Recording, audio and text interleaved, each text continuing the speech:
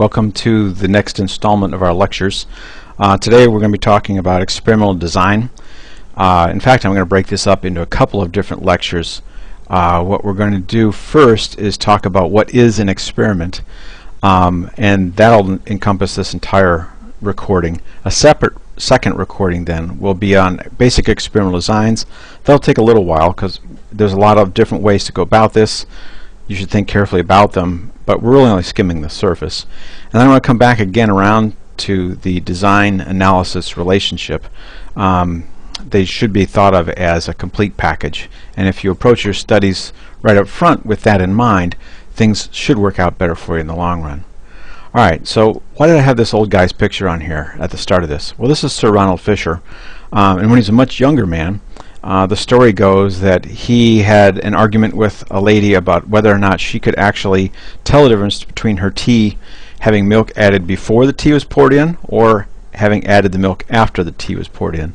And he set up an experimental design and then analysis to test to see if she was correct. And in fact, the results show that she could tell the difference.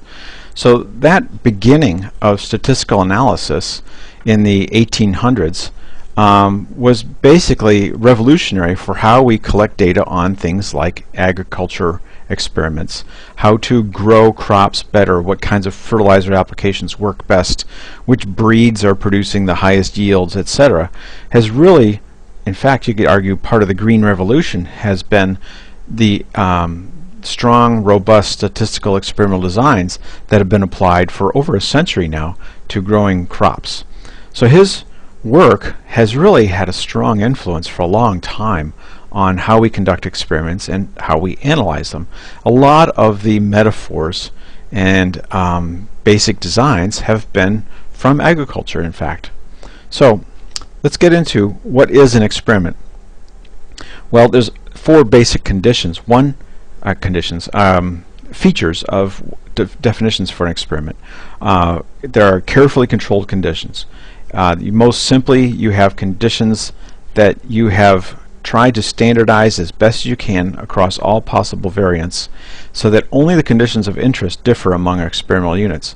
That would mean, for example, if I'm interested in the levels of fertilizer as being uh, what might cause more crop, I've tried to standardize everything else. The soils are the same in all of my plots. I use the same kind of corn everything I can think of I've tried to standardize except only that condition that I'm interested in.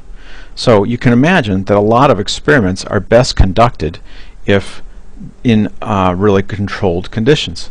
Those carefully controlled conditions like in a greenhouse mean that you have management capabilities over temperature and water stress, soils, drainage, light, all those things that would be really important to a plant you can now manage by having uh, controlled and limited the range of variation that might occur in your experiment due to those factors that you don't really care about. For example, if I'm interested in growing strawberries like here, and I want to know what's the optimum level of fertilizer, I don't want to have to worry about temperature or or watering capability, uh, water retention capability of the soils, things like that, as the features that might also be affecting my strawberry growth. So I want to have these carefully controlled conditions.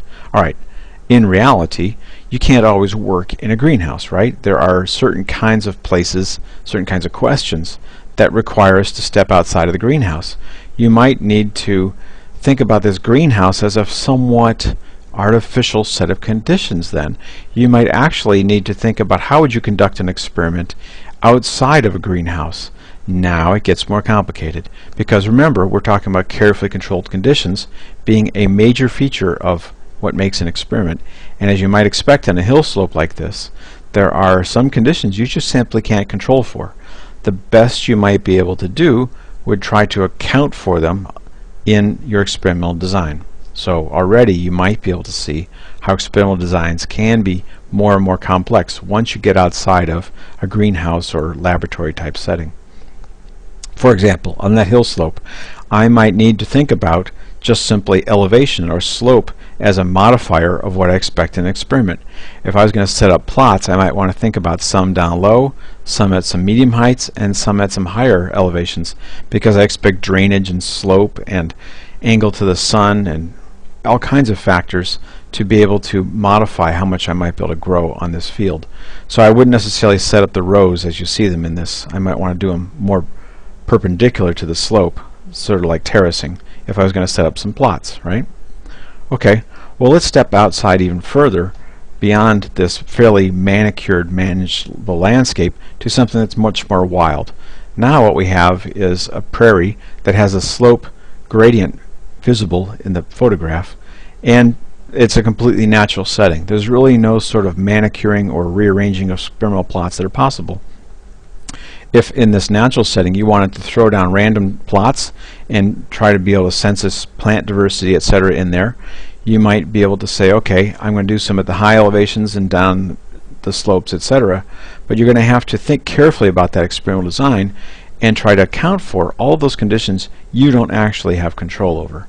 So as you might imagine, there's this spectrum here where you would think about the most carefully controlled conditions, like in a greenhouse, being your opportunity to conduct an early test of a hypothesis, a proof of concept idea, um, so for instance, you want to try to work with a simple system, a single plant species, something that you can manage most carefully.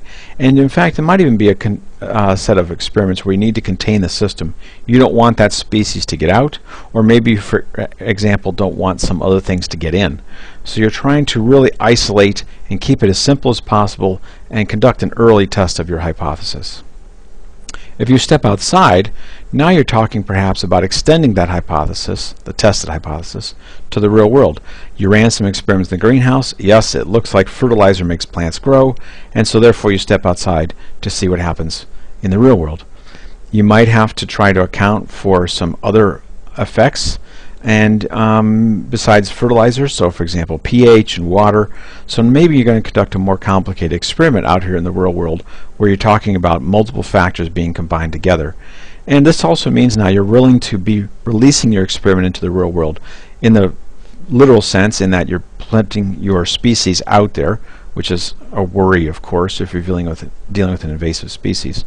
But you also might want to think about that as letting go, releasing your careful control to the real world. Because as soon as you conduct an experiment outside, lots of other things can happen that can complicate your experiment or uh, negate the results you thought you'd expect to find. Okay, let's go one step further up.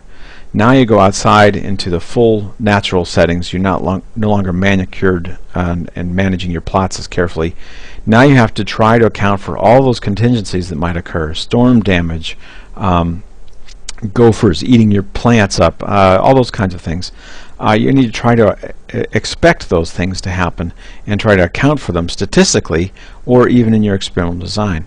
So for example, if I'm worried about rabbits eating all of my plants, my strawberries, something in my plots, maybe I need to put fences up around them. And that might mean I need to put fences up around my controls in which strawberries are not present too. We'll get to those things in a minute. But the point is that you have to try to account for all these variabilities uh, that might be kicking in in your experiment. Okay, another possibility that would happen out here is now you're wanting to find out what other interactions among all those effects are expected.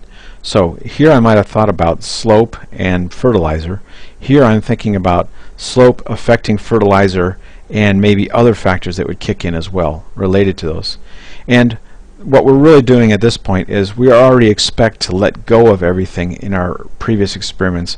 We want to know how it really looks in the real world. We're letting go of, we're releasing all of our interest in trying to control these various factors that are ultimately under our control in the greenhouse. Now it's stepping out and letting it roll. So what we're really talking about here is this classic idea of a control versus realism trade-off. In the greenhouse you have perhaps the ultimate control over all the conditions you can possibly make. Outdoors in experimental plots, it might be intermediate, whereas simply sampling the real world is, of course, realistic, but uncontrolled in that you didn't make treatments happen. You're evaluating the effect of slope and perhaps soil type and fertilization levels in the soils naturally on plant diversity, etc. So this spectrum of greenhouse to experimental plots to real world samples is something that we all play with all the time and So a fundamental question then is, at what point on that spectrum do you need to be for your kinds of question? If your question is perhaps early, you want to test a hypothesis, proof of concept kinds of things, and you need to control conditions as carefully as possible, then maybe you're talking about a greenhouse type world. Whereas on the other hand, if you just want to go out and see what the real world looks like, and if it matches ideas that have already been developed from lots of careful experiments, then maybe you're doing the other end. Or what a lot of people have been finding themselves doing is the intermediate field experiments, which is this fairly positive, well, you hope anyway, um, real control over settings, but uh, not necessarily as artificial as a greenhouse or a flask. So the idea with a lot of these intermediate level experiments that a lot of ecologists do is to try to maintain some of that control but be able to address criticisms about realism that might apply in a greenhouse. Alright, so think carefully about where you need to be on that spectrum. And where that is will likely be a function of how far along understanding and the literature is in the, your topic. All right. So, first off, we have to have carefully controlled conditions.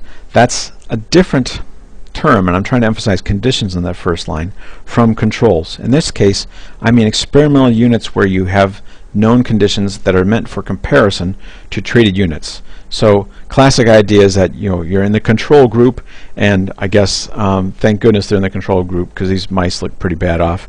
Or uh, as this young lady's trying to say in the car, uh, her sister is a member of the control group. She doesn't get to go on vacation. So control groups are, as conveyed by these two cartoons, the sets of units that are not going to be receiving a treatment. This is so you have a normal standard mode to compare to for treatments. You can evaluate how important a treatment might have been for your experiment.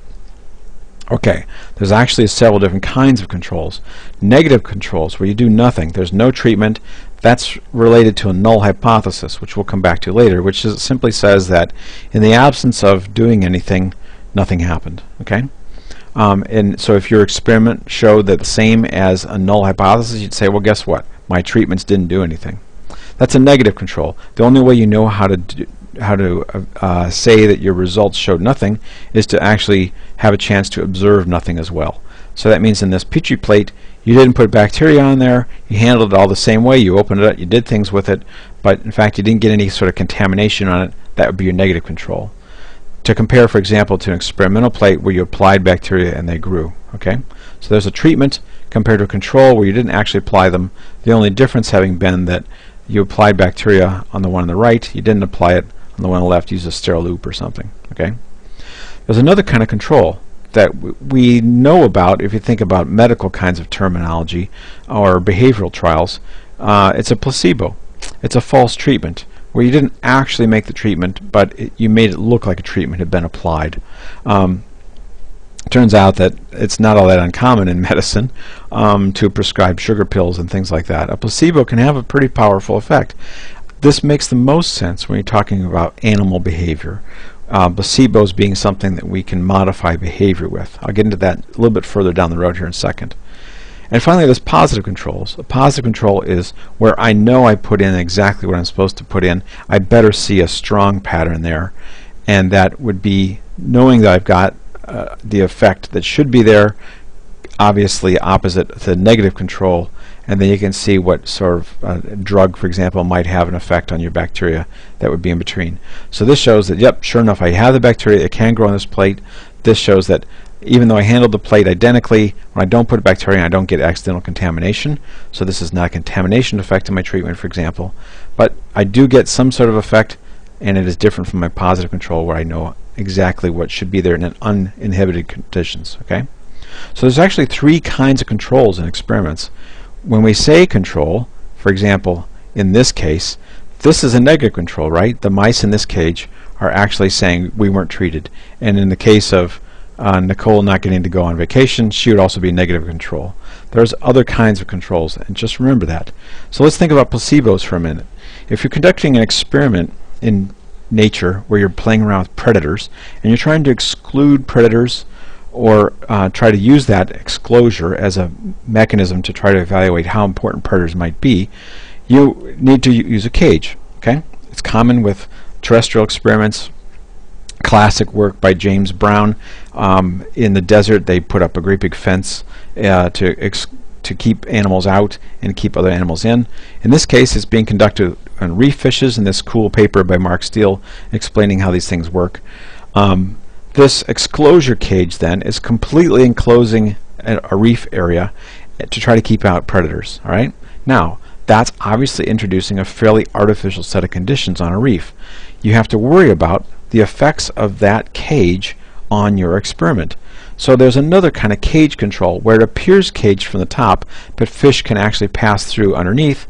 And then there's another simple plot area that you might map out on the reef where there's no cage in fact. Okay?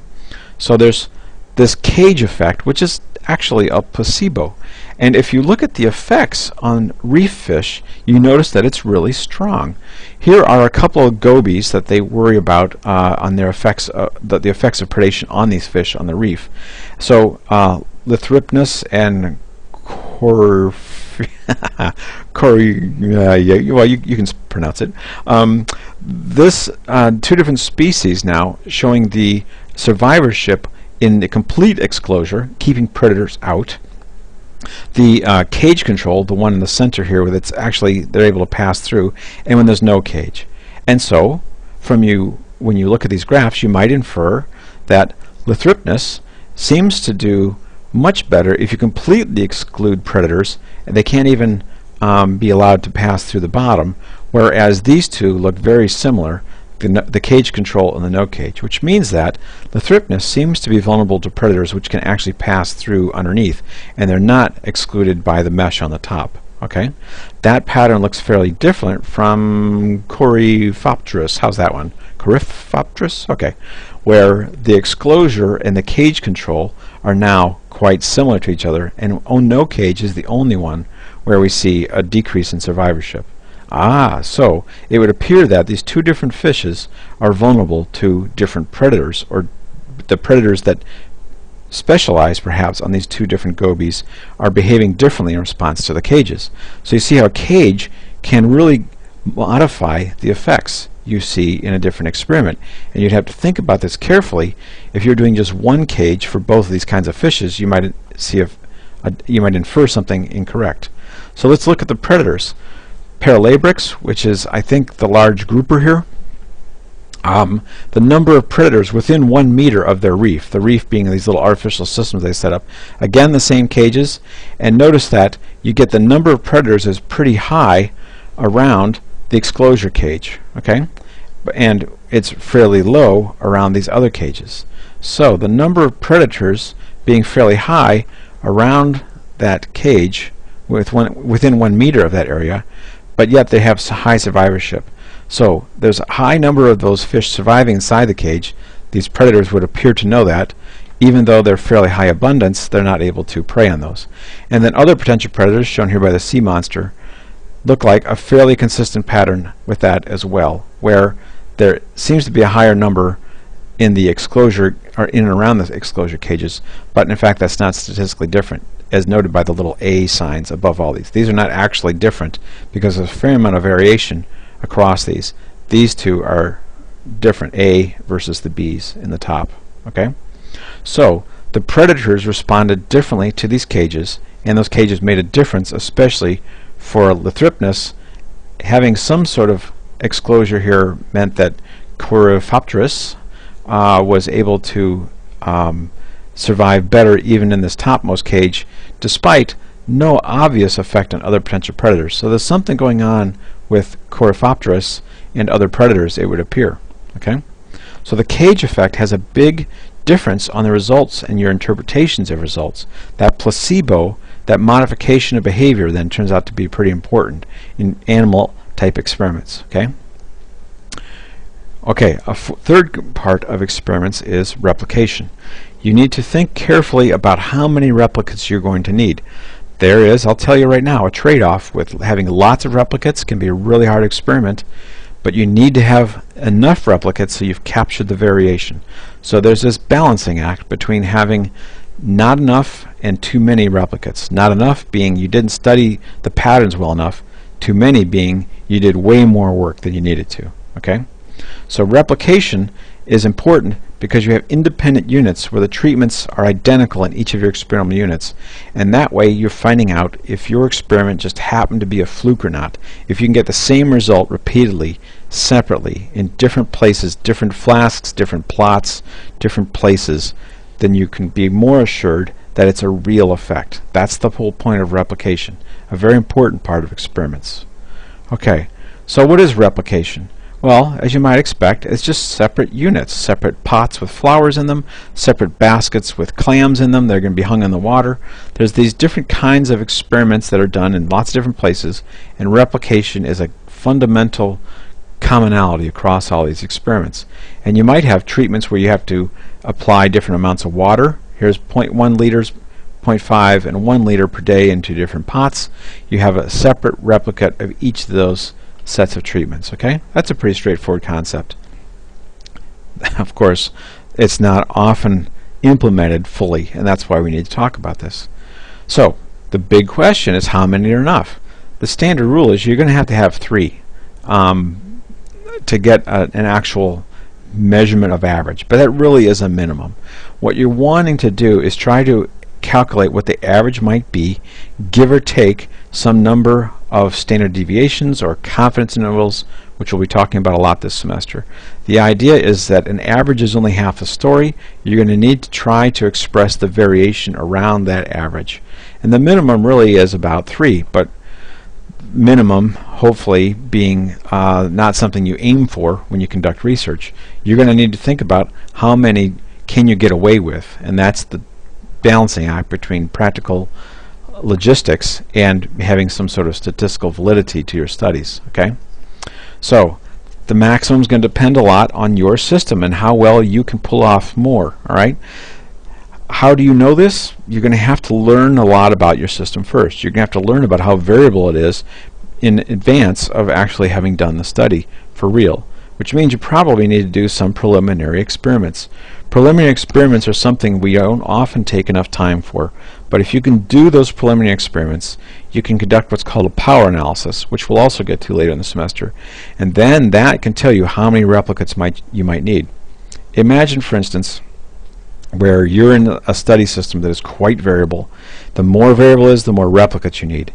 If you went out and conducted an experiment with three replicates, you'd go through all that work, and then you find out you can't say you see anything because the system's so variable, then you would have spent all that time and effort unfortunately not able to say anything. If you'd had more replicates, and a power analysis tells you how many might be enough, you might have been able to detect an effect. So, preliminary experiments and a power analysis are the way to answer how many are enough for the study system in which you're working. Your preliminary experiments need to be somewhat matched to your final experiments and that means you need to have thought through those as well. Okay, so this is actually a pretty big challenge in front of us to try to figure out how many replicates are enough. It's not that easy, but it's really important if you don't want to waste all your time and effort.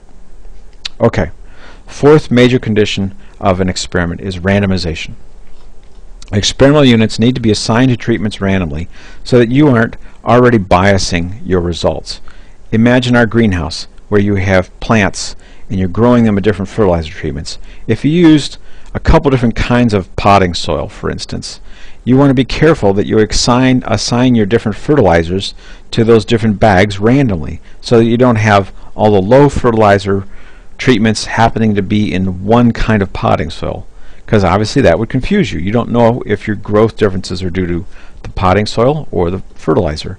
So you need to randomize. That's an important feature in any experiment, especially in the wild, out there in nature, where lots of other things have already happened before you walked out there, and you need to try to account for that by using randomizations. And an uncontrolled experiment becomes really important. All right. So randomization is something that's really easy. It's not hard to do this. There are random number tables out there. You can do it on your phone. I looked it up. You can find these apps on Google Play and Apple. Excel will give you random numbers. There are everywhere. There are random number generators, and it's really simple to try to designate lists of random numbers that you can use to pick.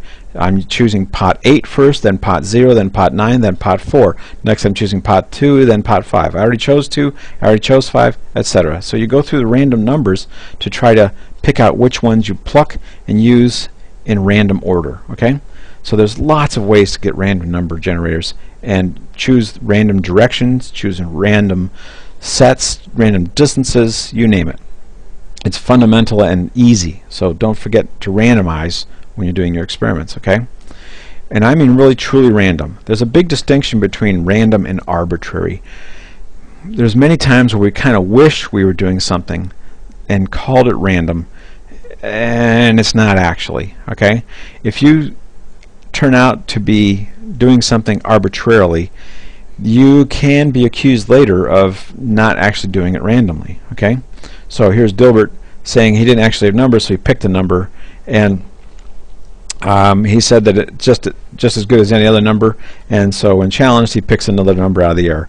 Those kinds of arguments, based on arbitrary numbers, obviously can be perceived as somewhat false. Okay, so you want to be careful about how you choose things at random. Okay, there really are lots of different ways to do random. Um, you can even generate these random patterns. Um, a great place to look for random number generators and random uh, calculations is a place called random.org. Um, it even has a phone app like the other places. Random.org gives you lots of capabilities to calculate random numbers. For example, let's imagine you have 48 plants in pots. You randomly assign them to six fertilizer treatments. You getting tired of fertilizers yet? So we have zero through high different levels of fertilizer. I could use this random gener that a number generator at random.org to pick out which pots go into which treatments. So let's say there's pot 15, 37, etc., and I assign that list right there to treatment 1. That next line would be treatment 2, etc. So I go through my pots, I find pot 15, and that one goes into treatment 1. Pot 37 goes into treatment 1. I'm really truly assigning by pots of plants at random to my treatments. Okay? So, those four major features, carefully controlled conditions, having experimental controls for comparison to your treatments, replication, multiple units, in other words, assigned at random to treatments, and that randomization. Those are the four main features of what makes an experiment. Okay? You could argue, in the absence of any of those four conditions, you haven't actually conducted a good experiment. You might claim it's an experiment, but some people would say, no, that's not an experiment. So we use the word experiment quite often, don't we?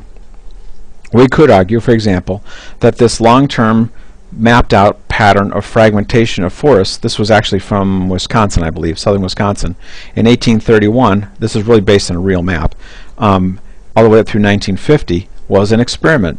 You could say that this pattern of deforestation is an experiment, or human population growth has been con considered an experiment. Well, we should be careful about that. We should call it an unplanned experiment because remember, you need to have carefully controlled conditions. You need to have replication. You don't have a treatment group that you can call it an experimental control, and this wasn't randomized.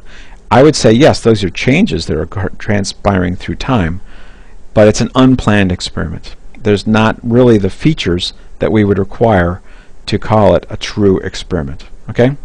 So it's almost like saying theory eh, with a capital T versus a lowercase t. The word experiment gets used fairly loosely, and I would prefer that we were more strict about what constitutes an actual experiment. Okay, so let's see what makes it not an experiment then. I would say if something occurs long term, over the course of more than one career, for instance, because it's rare to find an experiment that's been going on beyond one person's ability to conduct it. There are a few of those examples, but they're pretty rare. If it only has one reference site, uh, you're only using one place to compare to another place. It's not fully replicated. If it's a case study, we see that a lot in medicine. I followed this one patient through their treatment, the experimental drug worked, I reported on their results. Okay, Those kinds of things might be considered um, not actually experiments. If it's, in other words, lacking carefully controlled conditions, you don't have multiple controls, in other words, it's not replicated controls, and if it hasn't been a randomized kind of study design. Okay. So Can we use experimental analyses? Analyses that are really truly designed for those agricultural plot type simple worlds. If I'm going to look at deforestation patterns across a forest and each of those plots being clear cut, can I think of those as independent replicates? Well, they're on different slopes, different aspects, uh, different soils perhaps, maybe they're even different patches of different types of forest.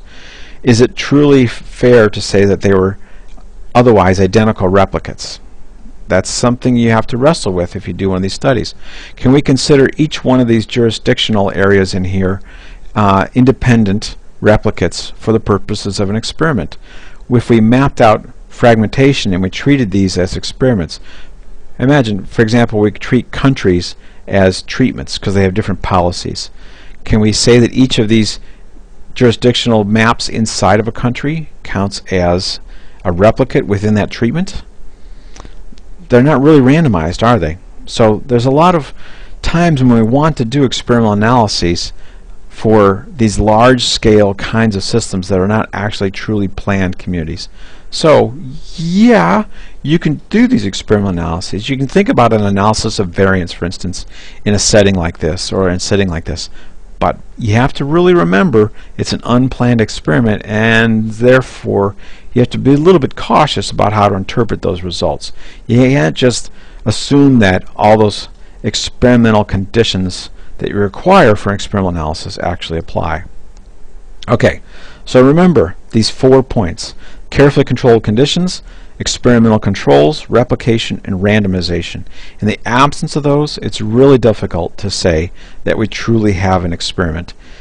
It might be an experiment-ish type of setting in which we have these kinds of conditions and we can apply experimental analyses, but it's not actually an experiment in that we didn't make something happen. Okay? So, we have to think about planned versus unplanned experiments and those four features of a good experiment. Some of those four features might carry forward into an unplanned experiment, but often it's pretty carefully um, Uh, danced around on whether or not those really truly did happen. A lot of people don't dwell on that, and that's where there's a lot of stuff that's published out there that you might read and say, yeah, I don't know if I buy that, largely because of these kinds of problems in experimental design and analysis. Okay, so I'm going to stop there for now. The next recording gets into basic experimental designs.